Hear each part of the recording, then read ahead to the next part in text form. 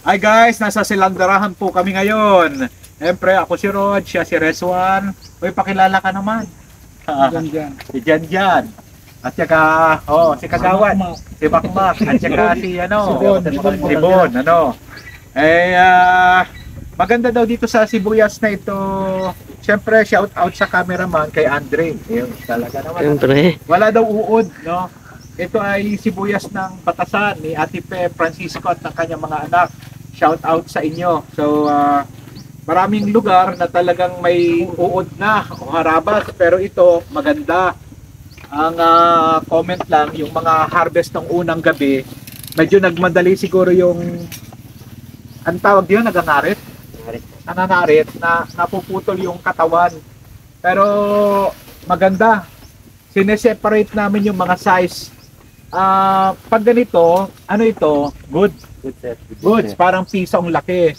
Ay ito, Good pa rin. good pa rin. Pero. May nakikita tayong malalaki din, ano? Ito ba big na to?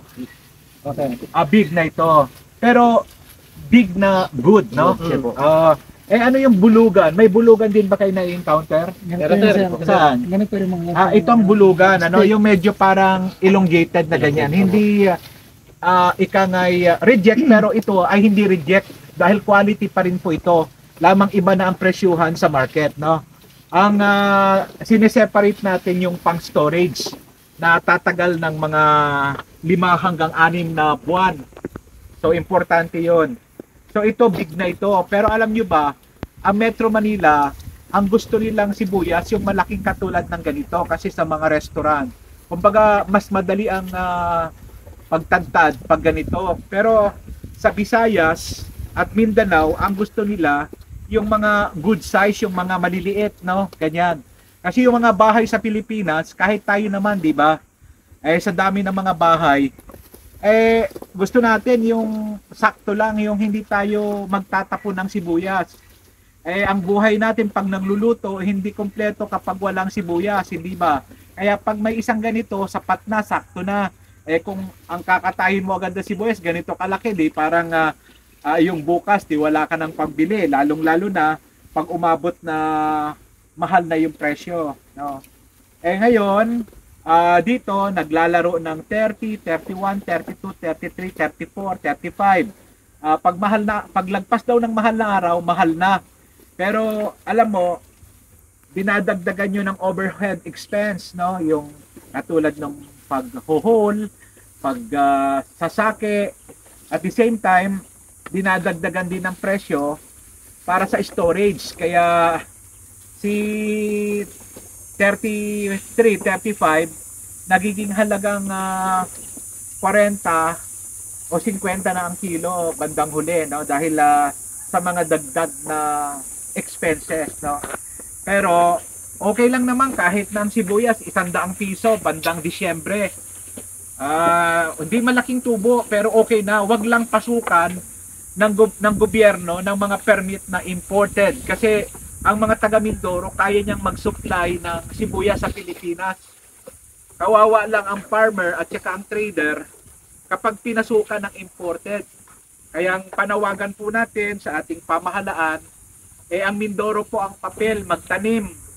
Kahit mainit, kahit na mangitim, okay lang yon. Basta wag nyo lamang pong tangkilikin yung mga galing sa ibang bansa kasi tayo sa Tarlac, sa Nueva Ecija, sa Bulacan, meron naman tayong mga ganito. Hindi kailangan mag-import, no? Kaya natin. Pag, at saka tayo din, pag namamalengke tayo, yung sobrang pulang-pulang-pulang-pula, alam mo imported, wag mong bilhin. Tama ba yun? Basta imported, alam mo. Kasi hindi ka nakakatulong sa bayan mo kapag tumangkilik ka ng imported na meron namang Pinoy. Kaya mula ngayon, para makatulong ka sa mga magsasaka ng Mindoro, ang bilhin mo, Pilipinong sibuyas. Huwag sibuyas ng ibang bansa. Eh, patronize our own. Kahit hindi lang naman sibuyas, sana nga pati bigas eh. Bigas Mindoro, eh, no? asin Mindoro, munggong Mindoro, manggang Mindoro. Pasensya na, agricultural ang Mindoro eh.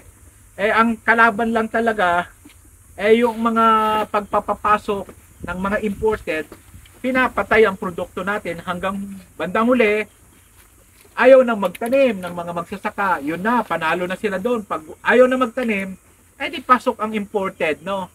Tsaka ngayon, marami daw harabas. Ano ba yung harabas? Uod. Paano umaatake sa, sa sibuyas ang harabas? Ah, sa dahon daw. Matakaw yung si- harabas, no? Ah, umaatake mula sa dahon, tapos papasok. So, paano nyo malalaman kung inatake ng harabas yung sinasalandra nyo? Maraming buta, sir. Maraming butas. Opo, yung ilalim, sir. Pag ganon, hindi na pwedeng storage. Hindi na sir. Kasi talaga mandadamay pa, no? Kaya sa salandra ang buhay, nakikita mo ang quality. Eh kapag ang buyer, talo na siya, no? Ang farmer, nakuha niya ng bayad, alangang isa uli pa, no? Kaya, merong spotter eh.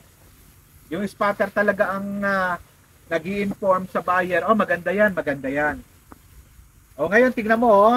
Halika rito, lapit ka. Ah, ganito ang pangsasalandra kasi may mga putik-putik tapos natatanggal yung mga dahon. Alam mo, sa buyer, yan o. Tim- oh, tuloy tayo. Nakat tayo kanina eh. Nag-init yung phone. So, pag balikan natin, pag sugak, wala nang puwet, no? Kaya pag nakakita daw si Reswa ng walang puwet, ang tawag niya sugak. Pero ito, pag merong ganyan, ayos yan, tatagal ng matagal na buwan, no? Nakakailang, sa, ito yung salandrahan, no? Sila rin ang gumawa nitong magandang papag. Papag siya kasi tingnan mo parang yung butas sa diyan nahuhulog, ano? Mga ilan din ang kaya ng ah, limang tao sa pagsasalandrama? Ano po, sir? Nang pinakamalaki na po, sir. Ang 300. 300. Opo. Ano ang hirap ng pagsasalandra? Yung magbubuhat ng sibuyas, sir. Pagbubuhat at saka alikabok, no? Nagabok po. Ikaw may ganyan, no? Ang ibig sabihin, ano, protection. Lalo na kasi yung parang gabok galing sa bukid. Bukid po. Yun yung, tapos gamitan mo pa ng blower. Yun na may blower. Eh, ba't hindi kayo gumamit ng blower ngayon? Nakakapuwin sir. Ah, nakakapuwing. Kala ko nagtitipid kayo ng kuryente. Ganun na rin, ano? Ganun na rin, sir. Ah, pero, Ginagamit lang din, sir, pag ano, sir, pag marami talagang uganot yung sibuyas. gamot? Uganot, sir. Ano yung ganot? Maraming, ano, sir, mga damo. Ah, para lumipad, mga- no? lumipad. Eh, ganito, sir, kalinis. Ay, hindi na kailangan. Hindi na kailangan, sir. Oh, yan. Siyempre. Ah, tapos buhat na naman siya, palakasan talaga. So yun yung mga finish. Ito yung mga sasalandrahin pa, no? Ah, actually kulang pa eh. Pero naghahakot pa rin sila mula bukid, tapos pagsasalandra. Tapos ito yung mga na-finish ng isalandra.